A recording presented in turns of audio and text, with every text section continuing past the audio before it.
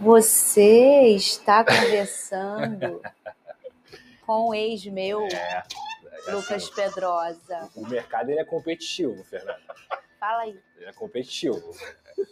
A notícia que a gente tem hoje para trazer para o torcedor vascaíno é que, de tantos nomes que foram especulados e ventilados aí na imprensa, apenas dois, de fato, o Vasco entrou em contato. E um deles a gente trouxe hoje de forma exclusiva, que é o técnico Luiz Castro.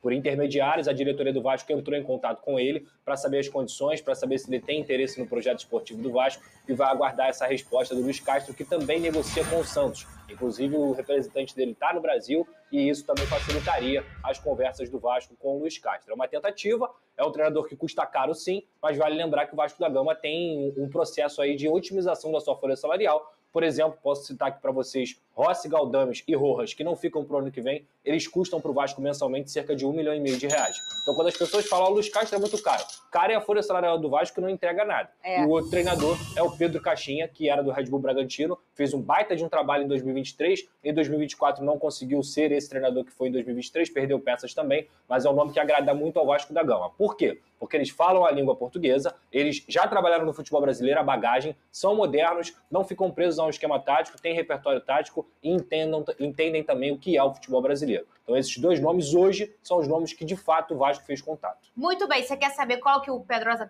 prefere? Vai lá no canal do Pedrosa no YouTube. Perfeito. Segue no Instagram no YouTube, que ele vai dar a opinião dele lá no canal dele. Pedrinho tem prioridade no mercado. Felipe Loureiro chamou a atenção. Evangelos Marinax, bilionário grego, quer comprar o Vasco. Mercado da bola e muito mais. Já quero aqui, fala galera, prestar as minhas condolências, os meus sentimentos, né, a nossa equipe aqui também, ao treinador é, interino do Vasco, Felipe Loureiro que demonstrou em sua atitude comprometimento.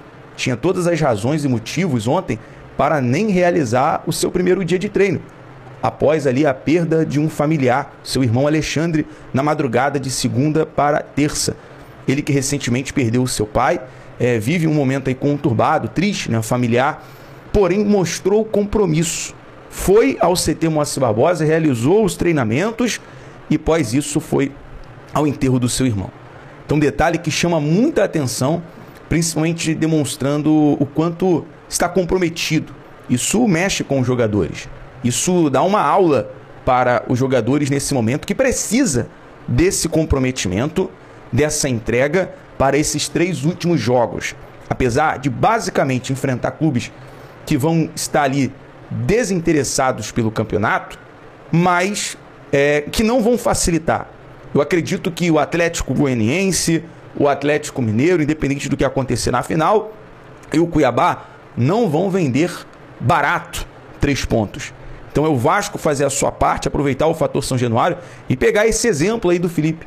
Compromisso, comprometimento. Felipe já chega chamando a atenção, além desse exemplo, como também mudando forma tática, é, dando oportunidade para jogadores da base, sacando jogadores que não estavam correspondendo.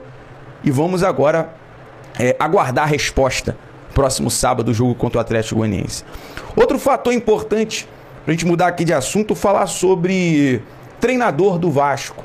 É, após aí os três jogos que o Felipe tem como interino, presidente Pedrinho tem prioridade. Informação do GE. O Vasco irá priorizar o mercado brasileiro por técnico e reforços. O clube prega cautela com estrangeiros que podem ser considerados apostas. Depois de algumas experiências em relação ao mercado, em relação a reforços na última janela, como por exemplo Capasso, Esforza, Orejano, Jean Davi, Máximo Domingues. E nesse momento o mercado estrangeiro está inflacionado para transferência, apesar dos salários geralmente mais baixos. Mas a questão é que o mercado brasileiro é, tem jogadores atuando aqui é, na competição nacional que, óbvio, tem espaço no Vasco. Eu acho que agora é um trabalho dos scouts, é um trabalho do Pedrinho, do Marcelo Santana, ter criatividade no mercado para poder contratar esses reforços. Daqui a pouco eu vou falar mais sobre isso. Em relação a treinador, existe alguns nomes é, sendo ventilados e um nome que está muito forte no momento. O primeiro nome que agrada a diretoria é o treinador Cuca. o Cuca, que é também é, sogro do Hugo Moura. Né? O Hugo Moura é genro do Cuca. Outro detalhe, outro técnico que já agrada o Pedrinho, que não vem fazendo um bom trabalho no Cruzeiro, é o Fernando Diniz. Mas o Fernando Diniz, até implementar sua filosofia, até implementar o seu futebol, demora. Demora. Não é do dia para noite. Eu acho que não combina, particularmente, sinceramente, eu acho que o trabalho do Diniz não combina muito é, nesse momento com o elenco que o Vasco tem, é, ou o elenco que vai vir para, o próximo, para a próxima temporada. Eu acho interessante um dos nomes mais fortes no momento é o Renato Gaúcho. Não deve renovar o seu contrato com o Grêmio para a próxima temporada, ficando livre no mercado. É um dos nomes fortes aí para assumir o Vasco. Até porque é, a prioridade do Pedrinho, como nós trouxemos aqui na informação, é um treinador brasileiro. É um treinador que atue no futebol brasileiro e também para reforços. Falando nisso, a gente tem é, informação sobre o Isidro Pita. O Cuiabá deve começar a ouvir propostas pelo jogador, pelo atacante de 26 anos. O Cuiabá, que particular, basicamente, aliás, e matematicamente já está rebaixado para o próximo Brasileirão. O detalhe é que o diretor executivo Marcelo Santana já buscou informações sobre o atacante com a staff do atleta para preparar uma proposta ao Cuiabá. Detalhe importante é que o jogador tem um salário na casa dos 150 mil reais. Não um salário, podemos dizer assim, é, exagerado. Eu acho que uma proposta nesse momento é interessante, uma boa proposta, e o Vasco correr na frente, porque existem outros clubes interessados. O nome dele foi especulado no Santos, Fluminense, Flamengo. Então o Vasco precisa correr na frente é um jogador interessante para disputar ali a posição com o Verrete. Então o Vasco já deve apresentar uma proposta formal pelo jogador logo logo.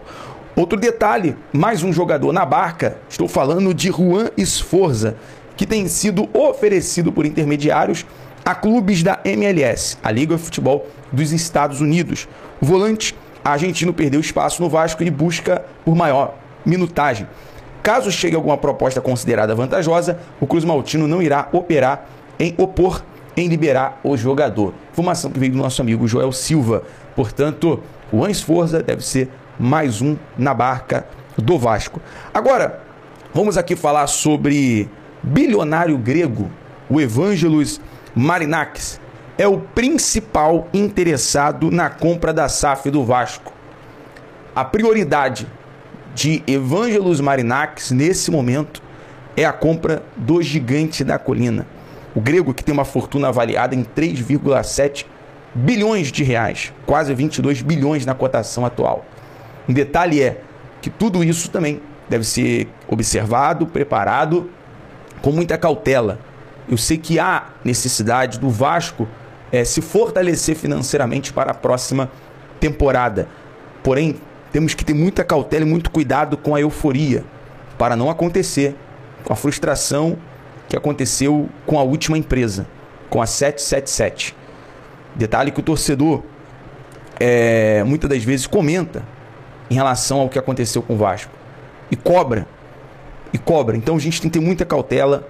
O Pedrinho tem que vai ter que ter muito muito carinho em relação a essa parte.